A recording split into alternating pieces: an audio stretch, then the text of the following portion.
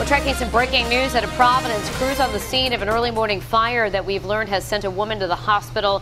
It broke out at about 6 a.m. on Chapin Avenue. Investigators say the fire was confined to a mattress.